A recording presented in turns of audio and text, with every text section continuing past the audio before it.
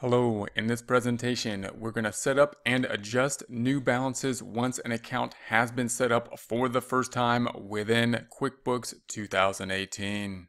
We will be continuing along with our comprehensive problem. If you've been working along with us, that is great. If you have not, that is okay too. You could take a look at this and see how these beginning balances would need to be adjusted for any company.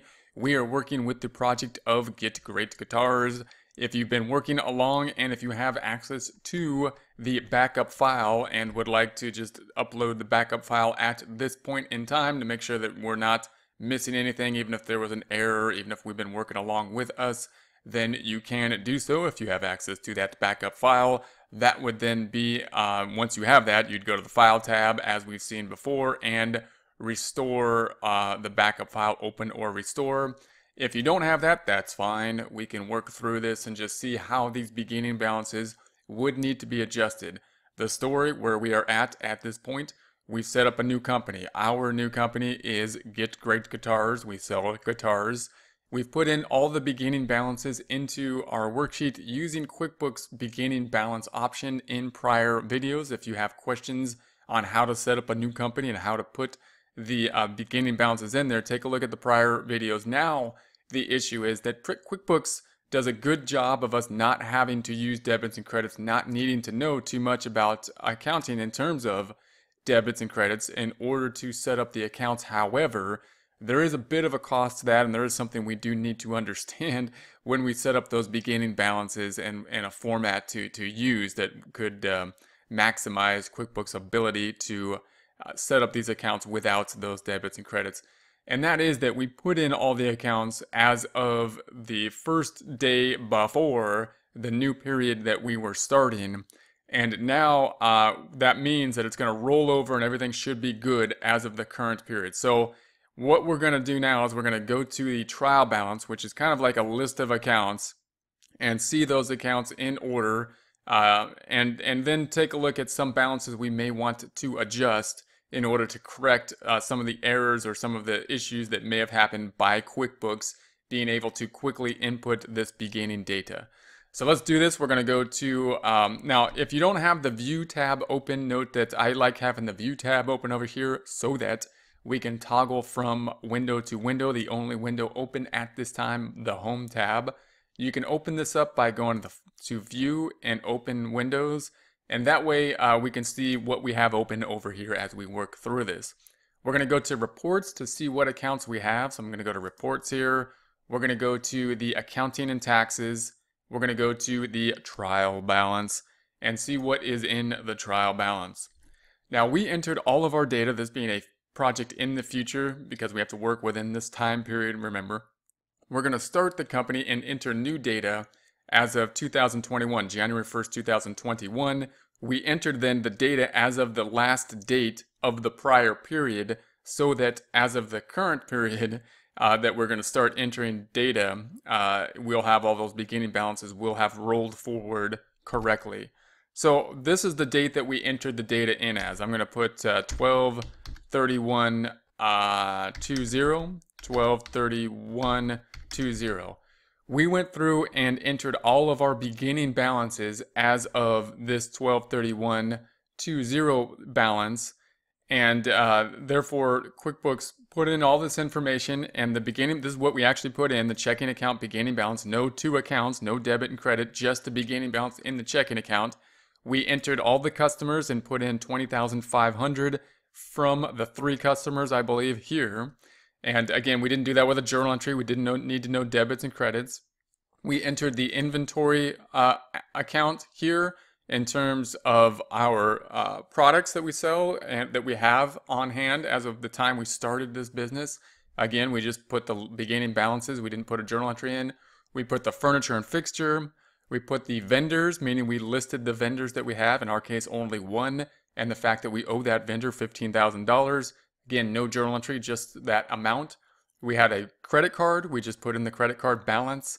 The loan, we just put in that balance. That's what we owe as of this point in time. And then we have this stuff, which if you just put in this balances, we would have no idea what this stuff is.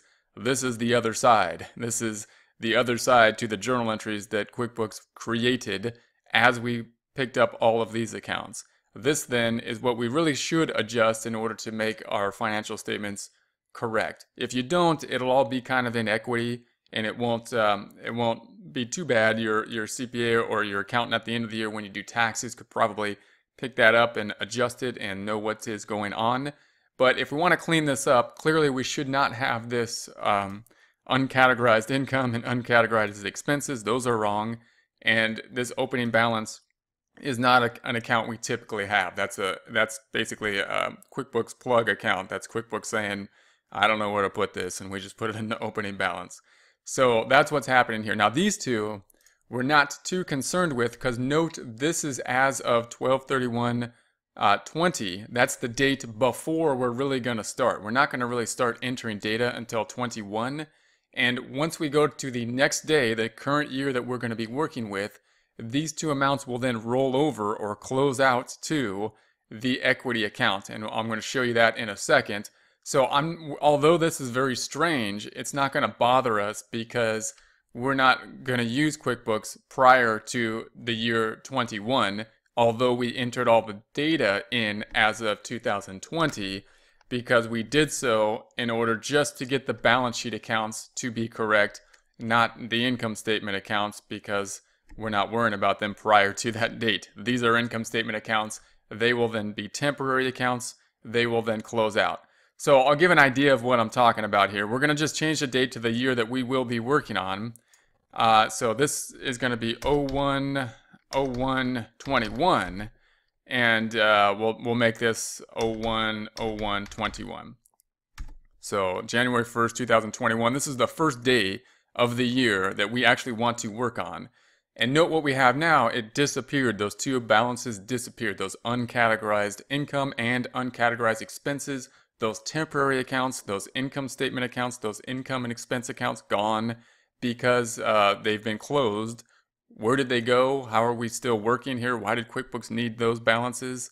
Well, it needed those to be in balance for our accounting system, and it closed them out to the owner's equity. That's where it's going to roll out the temporary accounts after each year, and it did that automatically. So that's great. We don't need to do anything to that because now we're fine as of the first date of the following year. However, we still have this uh, opening uh, opening balance equity, which we would like to get rid of here because this is not typically used. We really just want this owner's equity account. Now this is a sole proprietor, so we're going to assume we only have one owner in this case, and we only need to have one equity account then, that representing the amount, the book value of the company, the amount the company owes then back to the owner, or in other words, representing assets minus liabilities. So we really just want that one equity. If we had a partnership, then we'd have two equity accounts and we'd have to worry about, we'd have capital accounts in essence, and we'd set up capital accounts and try to track who the net value, the net worth, the assets minus the liabilities is then owed to in terms of the two partners in accordance with the partnership agreement. If it was a corporation, then we'd have a retained earnings account that would be similar to this owner's equity account where we're going to uh, roll over all the net income balances into. So in this case, all we want to do is move this amount here. Now, typically the, the best way to do this is kind of difficult to, avoid journal entries in this case. So I'm going to go ahead and do a, a journal entry here, taking this 79 uh, 896, pulling it out of here, and I'm going to put it into this owner uh, owner's equity account so that we no longer have this kind of weird account, this account we don't really want to see, this account that represents we kind of don't know what we're doing really, which is this opening balance equity. So we just want to get rid of that. We want to put it into the equity. So I'm going to do that with a journal entry. We'll see what a journal entry uh, looks like here. It's the first time we have to actually use a journal entry in order to, to set things up to really get it proper. And note that this is a credit, so we need to make it go down. So I'm going to do the opposite. I'm going to debit that amount. So in order to get to the journal entries, we're going to go to the company tab. We're going to go down to make uh, journal entries down here. Make journal entries. And here is our journal entry form. QuickBook now automatically assigns numbers to journal entries. I'm going to say that's great. I'm going to say OK. The date of our journal entry is then going to be, I'm going to make it the last day again, just like we did with all the other ones, 12 31 2020 I'm going to keep their account number, their journal entry number. Note it made two journal entries prior to this as we entered our beginning balances. That's fine. We need to debit the opening balance equity to get that going down to zero. I forgot what the number is, but luckily we have our open balance windows open here and we can toggle back and forth between the make journal entries and the trial balance. So we'll go back to the trial balance and I'm seeing 79,896. So I'm going to go back to the make journal entries. And we're going to say 7989. Whoop. Oh, that's kind of funny. Now I hit the plus button. That's not good. 79896 tab. So let's check that one more time. 79896 trial balance 79896. Okay. It's going to go into the owner equity. So I'm going to go to the second tab, owner equity. And if you start typing in there, of course, it'll fill in for you. There's going to be the owner equity. There is our debit and credit. Now, don't worry if you're thinking I'm going the wrong way. I don't know what debits and credits are. What if I do this backwards? Then we'll go back in. QuickBooks is very, very, very lenient in terms of adjusting journal entries after you do that, unlike other accounting software, which would uh, want an audit trail and not let you delete basically anything.